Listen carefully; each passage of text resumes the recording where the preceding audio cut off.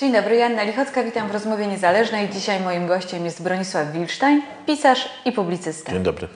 E, jak skomentujesz to, co się dzieje teraz? Strach właściwie włączyć telewizję czy jakieś radio informacyjne? No nie wiem, to jest tak szerokie pytanie. Mówię to o znaczy, tej pianie, która się to znaczy wylewa o- właściwie z każdego kanału, o tej fali o propagandzie. e, nienawiści. No tak, bo to jest ciekawe, bo można opisać to w ten sposób, że ponieważ ta wersja, mówimy głównie o Smoleńsku, bo jednak on w głównej mierze wyznacza te obecne spory polityczne, choć nie wyłącznie.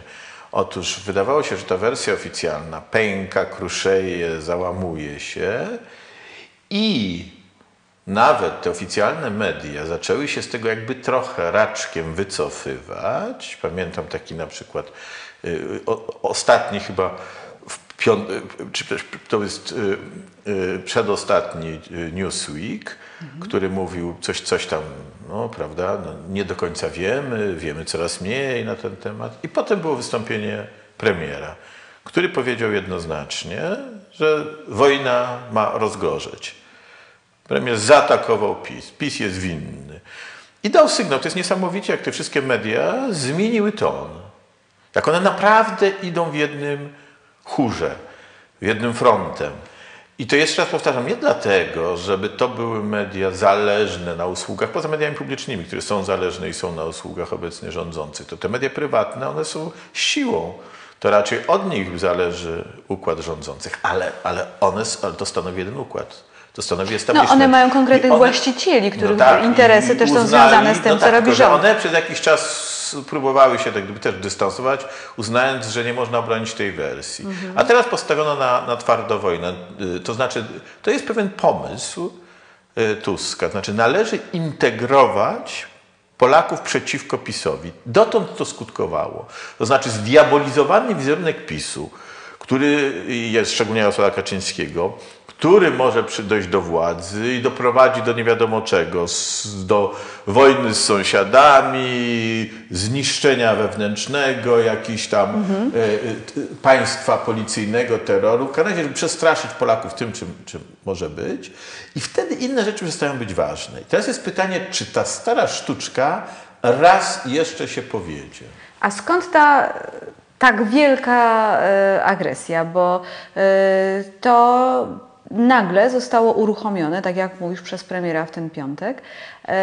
Wcześniej ta fala takiego, takiej e, straszliwej niechęci czy torpedowania jakichkolwiek e, innych głosów niż te, które są, dobiegają z rządu, nie, nie była tak intensywna. To się stało po prostu Tak. po rocznicy. Tak, Co takiego tak. stało się 10 kwietnia, że ten establishment Ja oszalał? bym nie powiedział, że to spowodował dokładnie 10 kwiecień. Oczywiście 10 kwieci- kwiecień też, no te, te tłumy, nikt, nie, nikt nie, chyba tego nie liczył, ale... ale Kilkadziesiąt tysięcy. Na pewno kilkadziesiąt tysięcy ludzi. No to, to, to opowieści o tym, że coraz mniej ludzi się tym interesuje, a tu nagle fakty przeczą, pokazują, że nie jest tak, że ludzie podejmują wysiłek, przyjeżdżają do Warszawy z daleka, angażują się. A więc tak, po pierwsze, sprawy nie udało się zasypać, nie udało się Smoleńska zasypać, co dla mnie było oczywiste. Przepraszam, że tak pisałem o tym, że to tak jak sprawa Dreyfusa się latami ciągnęła, czasami przysiadała, potem buchała następnym ogniem wielkim. Ale myślę, że nie tylko o to chodzi. Chodzi o to, o kruszenie się Platformy, a zwłaszcza Donalda Tuska. Otóż Donald Tusk może jedno, co może zrobić, co zawsze może wezwać do integracji, mobilizacji przeciwko PiSowi. No bo co może powiedzieć innego? No co, gdzie są te autostrady? Gdzie, jest- gdzie jest ta wielka infrastruktura na Mistrzostwa Europy piłki, w piłce nożnej? Czyli w czymś, co, co dla, zdaje się, naszych rządzących jest najważniejsze na świecie. To miała być, zresztą w ogóle śmieszne, żeby całą politykę państwa na dwie kadencje organizować wokół Mistrzostw Europy w piłkę nożną, ale zostawmy to już w tej chwili na boku. Wszystko nawala. Wszystko tam nawala. I gdzie sięgniemy, wszędzie się kruszy. Służba zdrowia się kruszy, to się kruszy, tamto się kruszy. Opowieści o, tym, o tej wspaniałej Zielonej Wyspie coraz, coraz trudniej, trudniejsze do utrzymania. No, myśmy zużyli, a poza tym oni doskonale wiedzą, co się dzieje. Myśmy zużyli już e, przez te, e, miało być 30 miliardów deficytu na ten rok. No, zostało zużyte przez niecałe 4 miesiące dwadzieścia kilka miliardów. Tak, jak, 60% to, jak to się budżetu. uda? Jak to się uda utrzymać? A konsekwencje tego wreszcie będą. W związku z tym to wszystko powoduje, to musi przeciekać w tej lub innej formie do, do, do, do świadomości społecznej, pomimo tej blokady medialnej, to jednak również te media muszą jakoś o tym mówić i mówią. No to co zrobić? Zmobilizować straszny PiS. Jest PiS u bram i trzeba w związku z tym się mobilizować. Tak, ale y, y, oprócz tych obiektywnych trudności, jakie przeżywa rząd i tych sondaży, które pokazują, że PiS y, no w tej chwili według Homo homini dzieli 3%, Platforma ma 30%, PiS 27%, już po tym wystąpieniu agresywnym Donalda Tuska. Ale profesor Zdzisław Krasnodębski zwraca uwagę na jeszcze jedną świadomość, która dotarła do rządzących i do popierającego tych rządzących establishmentu. Ujawniła się postępująca izolacja i alienacja rządzących oraz popierającego go establishmentu zamkniętego w studiach i redakcjach jak w omleżonych twierdzach, pisze profesor Zdzisław Krasnodębski. Ten lud jest groźny, mówi o tym ludzie z krakowskiego przedmieścia, dlatego że obywatelsko wypowiedział posłuszeństwo rządzącym, bo już wie, kto jest kim w III Rzeczpospolitej e, i wie, że musi walczyć o swoje. Zobacz, prawie każdego dnia albo każdego tygodnia w, w wielu miastach, nie wiem, takim niedużym miasteczku jak Kościerzyna, odbywają się demonstracje w obronie wolności słowa i telewizji Trwa. Masa ludzi przyjechała do Warszawy z całego kraju, kilkadziesiąt tysięcy ludzi, bez względu na to, jak bardzo są opluwani.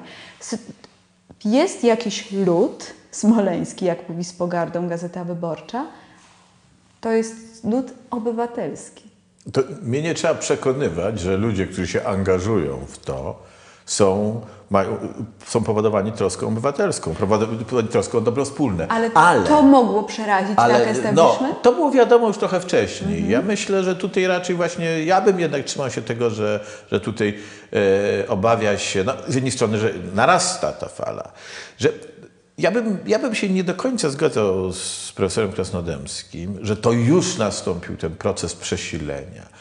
Ja bym ciągle powiedział, że ci, którzy angażują się w sprawę społeczną, to jest mniejszość. To jest mniejszość, która i to wyraźna, w tym sensie, że proporcjonalnie to nie jest aż tak duża grupa, chociaż bardzo znacząca, że aż, aż tylu ludzi się angażuje w ogóle. Ale w ogóle na świecie zawsze i wszędzie większość jest bierna. I to jest naturalne. No, ludzie się zajmują swoimi sprawami, są zapędzeni, są, funkcjonują w rytmie dnia swojego, na polityce się nie znają, nie za bardzo rozumieją ją, odbierają to, co ten przekaz oficjalny, który do nich dociera i, i specjalnie się tym nie interesują, zamknięty w swojej prywatności. Co więcej, takie podstawy w Polsce się i media i wzmacnia, opowiadając, jaka niedobra jest polityka z zasady. Tak. Ale y, ci ludzie mogą być poruszeni problemami bytowymi, jeżeli zacznie im się grunt usuwać spod nóg, jak zaczną, jak pojawi się duże bezrobocie, jak obniży się standard życia. Jeśli wtedy pojawi się grupa, która będzie miała propozycję, no to wtedy ta większość może zmienić tą orientację. Dotąd, dotąd ci- przecież tacy zwykli ludzie nie zajmują się długiem publicznym, bo nie za bardzo wiedzą, co to jest. Nie za bardzo rozumieją te, te mechanizmy gospodarcze, nic takiego. Im się nie działo gorzej. Im się nie działo gorzej ciągle. A słyszeli, że jest taki wielki kryzys. Natomiast w tej chwili być może zacznie się im dziać gorzej. I dlatego chodzi o to, żeby przestraszyć. Że muszą słyszeć o przestraszyć. pełzającym rokoszu, o wojnie, o No wojnie właśnie o tym, o domowej. tym, że proszę bardzo, no mówi się przecież, że tu krew będzie płynęła, taki, e, e, taka postać, jedna z tych e, no, niezwykłych postaci polskiego establishmentu, to jest profesor Markowski. No. E, To jest rzeczywiście profesor, ale jeżeli to ma być politolog, to jest, to jest profesor, który pamiętam, że kiedyś tłumaczył, jak to dobrze jest, że w Polsce nie ma takiego głębokiego Ale zaangażowania. ja myślę, że warto się zajmować trochę Ale- mądrze, mądrzejszymi osobami. ale Aleksander Smolar, profesor Aleksander Smolar wczoraj powiedział o możliwej, o dążeniu do wojny, o powtórzeniu o tym, e, powtórzeniu o tym No tak. pełzającym rokoszu. No, dla mnie- dla mnie- W poetyce Platformy Obywatelskiej co jakiś czas pojawia się słowo wojna. No dla mnie e, Aleksander Smolar niestety, niestety, e, on zawsze miał, był uwikłany w, w, w, w pewne interesy szeroko pojęte polityczne. Z jednej strony był związany w jakimś sensie z, z, z, instytucjami Unii Europejskiej, no, pieniądze dostawał z Francji i tak dalej, i tak dalej. Tutaj był doradcą. Wszystko to jest dwuznaczne. Ja nie chcę załatwiać tego, powiedzieć, że to jest od razu tam korupcja. Nie, ale to są dwuznaczne sytuacje. Był, y, występował jako y, y, ekspert, publicy, ekspert niezależny, a jednocześnie był w, w zarządzie Unii Wolności. To, to, jest, to, to jest taki polski paradoks, prawda? Pytano go, a pan, nie, ja teraz występuję jako niezależny ekspert, a ja za chwilę będę występował jako, jako członek zarządu Unii. Otóż, więc zawsze ja mam te, do tych jego ekspertyz, osoby, która jest bardzo inteligentna, którą ja znam bardzo dobrze kiedyś, mhm. sporo wątpliwości i spory dystans, ponieważ trudno być arbitrem we własnej sprawie. Ale niestety tak się dzieje, że z czasem to zaangażowanie Aleksandra Smola jest coraz głębsze i to jest, to jest problem całego establishmentu. Po prostu ten establishment polski się boi. I ma się czego bać, bo wreszcie pojawia się realna opozycja.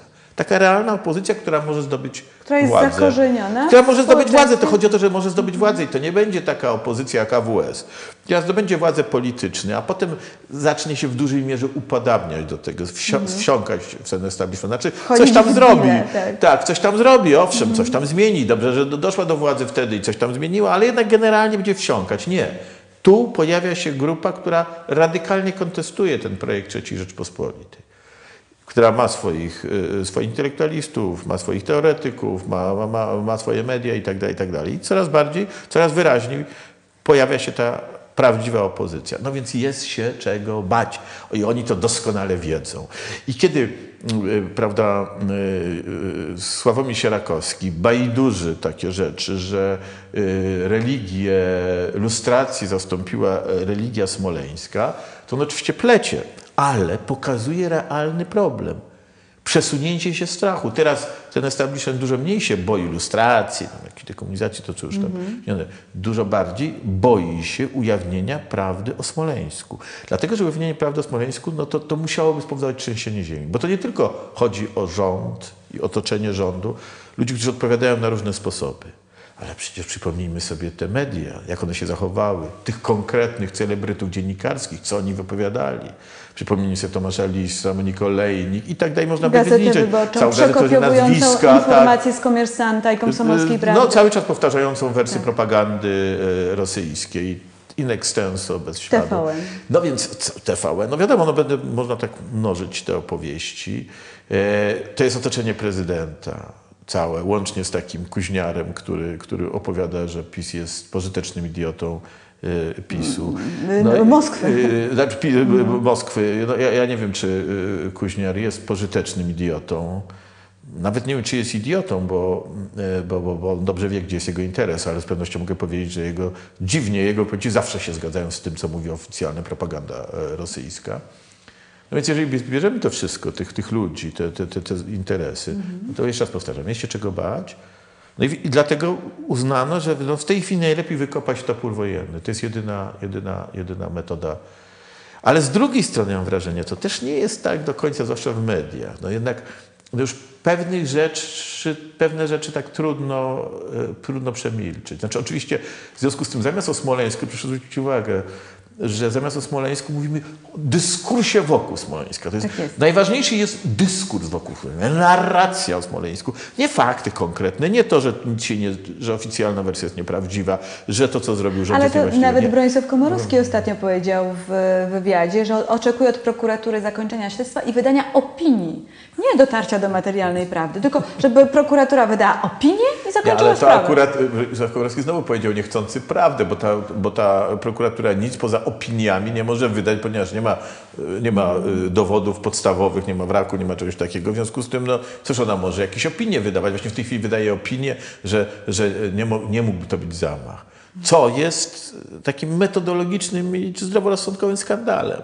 Bo jeśli ona, ta prokuratura, nie wie, co się stało i mówi to, że nie wie, to na podstawie czego ona wie, że nie było tam udziału osób trzecich? Przecież nie ma takiej możliwości. Mhm. A jednocześnie nam się to wsadza w łeb i mówi, no proszę. Ale w ogóle informacje są sprzeczne, bo z jednej strony wiemy, że prokuratura e, analizuje ustalenia profesora Nowaczyka i Biniendy. No, e, do, dopiero teraz, tak. Ale na początku, na początku chcieli, no zobaczymy, czy, czy naprawdę analizuje. Mam nadzieję, że naprawdę analizuje. Ale trzeba zwrócić uwagę, że przecież e, profesor Binienda na przykład zrobił to, co się robi zawsze w takich sprawach, to znaczy taką rozbudowaną symulację komputerową, biorąc pod uwagę Tak. te różne dane. Prokuratura tego nie zrobiła w ogóle. Więc to jest uderzające. Więc, więc e, no, tak, żyjemy w ciekawych czasach. A jak, jak sobie radzić z tym, żeby się nie dać nabrać na wojnę, na tą polaryzację, na No- tą, znowu tą dawkę nienawiści, którą próbują wpompować między Polaków? Właśnie to, co zawsze, to znaczy nie dać się. Nie dać się trzymać przy zasadach stójmy, róbmy swoje. To znaczy nie dać się zwariować, nie, nie wchodzić w debatę o dyskursie, nawet za bardzo się nie przejmować tam, tą, tym, tym, tym stekiem pomówień, oszczerstw, czy tam kalumni, które się pojawiają. Próbować dochodzić prawdy.